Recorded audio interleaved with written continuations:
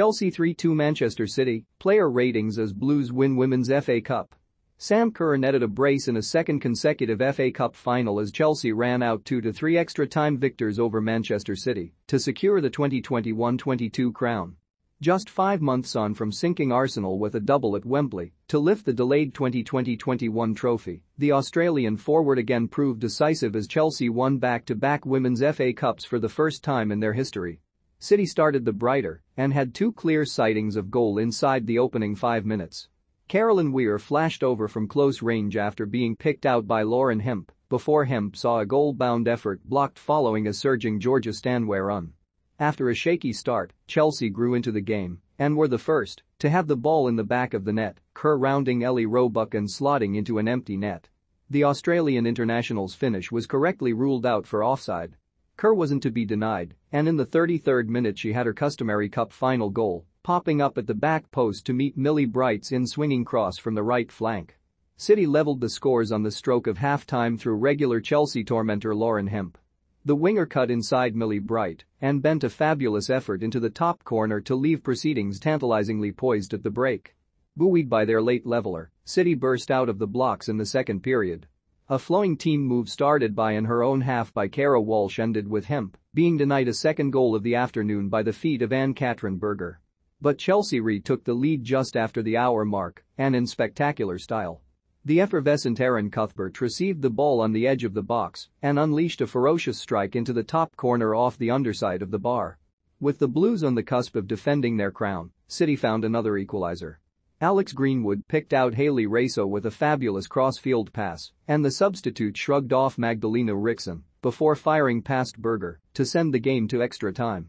A last-ditch Berger intervention kept White out in the first period of extra time following Caroline Weir's low delivery before the Blues retook the lead for the third time. Alanna Kennedy misjudged an innocuous clearance to allow Kerr to race clean through, and the forward's effort deflected in off the sliding challenge of the unfortunate Greenwood. City pushed for an equalizer in the dying stages, but Chelsea held firm to seal victory and complete a domestic double. GK, Ann-Katrin Berger 7 tenths, comfortably claimed a couple of potentially dangerous Kelly crosses in the first half, saved well with her feet to keep out Hemp in the second. Jess Carter 6 tenths, beaten by the magical feet of Hemp on a couple of occasions.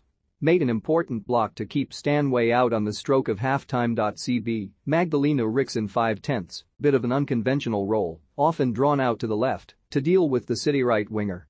Beaten by Raso for City's equalizer. CB, Millie Bright 6 tenths, a mixed day, set up Chelsea's opener with a wicked delivery from the right flank before allowing Hemp to cut inside in the build-up to City's leveler. CB, Aniek Nouwen 6 tenths, solid and steady, replaced after 70 minutes. LWB, Guro Reiten 5 tenths, the more attacking of Chelsea's wing backs, didn't offer a great deal of protection with both Kelly and Raso both able to affect proceedings down the Chelsea left.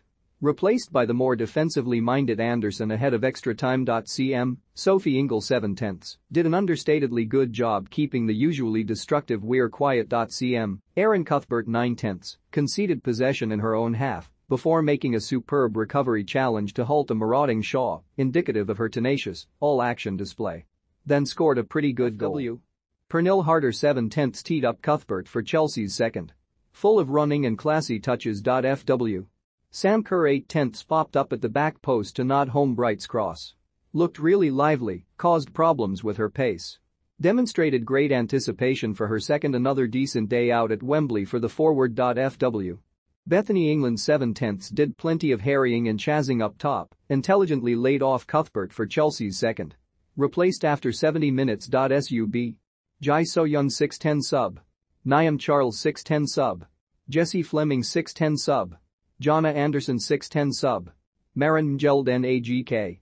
Ellie Roebuck 5 tenths bailed City out with a last-ditch tackle in the first half, but unable to get anything on Bright's back post cross in the build-up to Chelsea's opener. Conceded possession in the build-up to Chelsea's second. RB.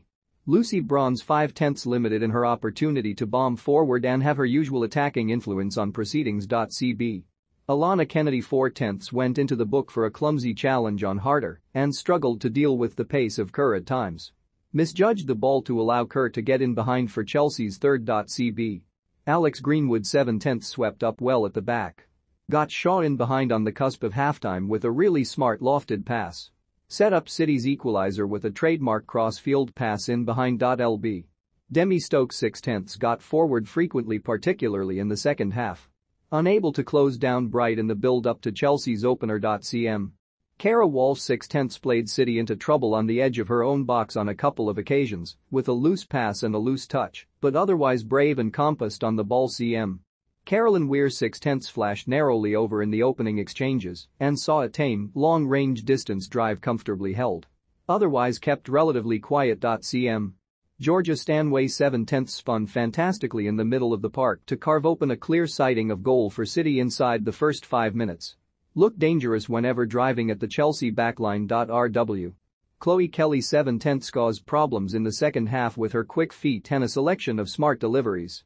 Replaced with 15 minutes remaining. St. Bunny Shaw 5 tenths couldn't get her bearings as she headed a dangerous Kelly cross away from goal. Saw another half chance blocked. Looked dangerous, but her final ball was often lacking. Lw. Lauren Hemp 8 tenths carried City's greatest attacking threat, as is often the case, and leveled the scores with a bending effort. Sub. Hayley Raso 7 tenths showed great strength and composure to level the scores. A dream FA Cup final substitution. Sub. Ellen White 510 sub. Laura Coombs 510 sub. Julie Blakstad 510 sub. Vicky Losada NA